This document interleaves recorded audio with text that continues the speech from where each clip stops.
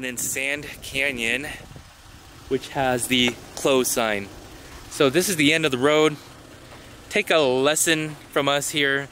Hey guys, what is going on? Welcome back to another adventure.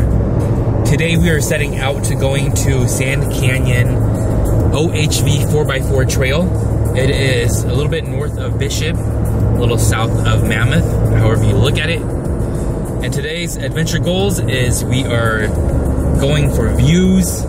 We are going for hopefully an epic sunset and just have a, a dinner out there.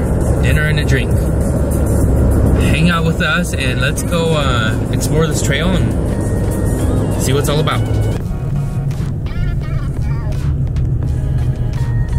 Here is where we leave the pavement.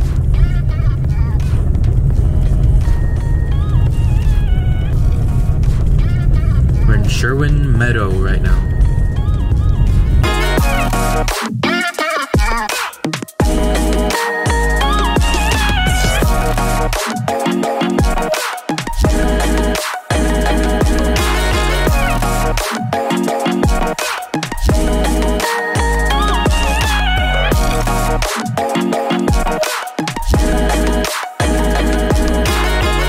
So we're just starting off on a dirt road, probably a Forest Service road.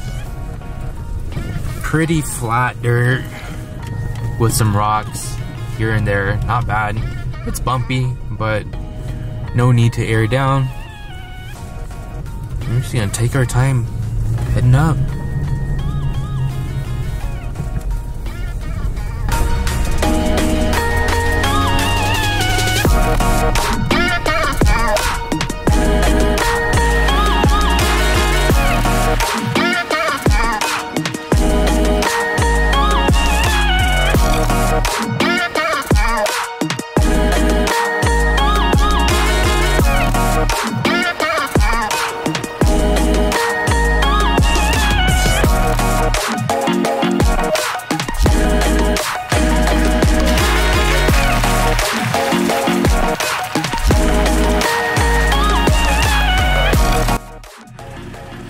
Well, here is what we are met with.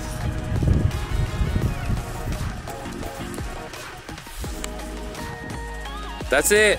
End of the road. 30E302. Road closed.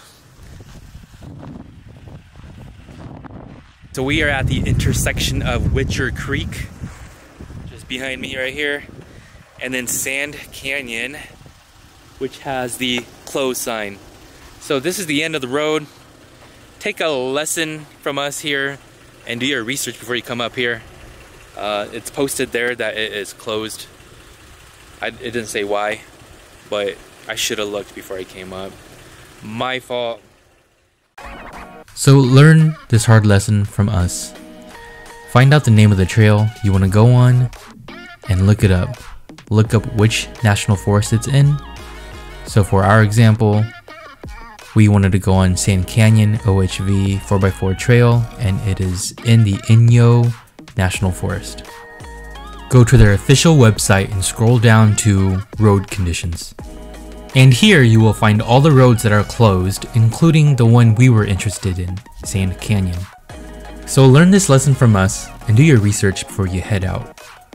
Thankfully, if you're in the Eastern Sierras, there are plentiful more other trails to explore on. So with that being said, happy exploring.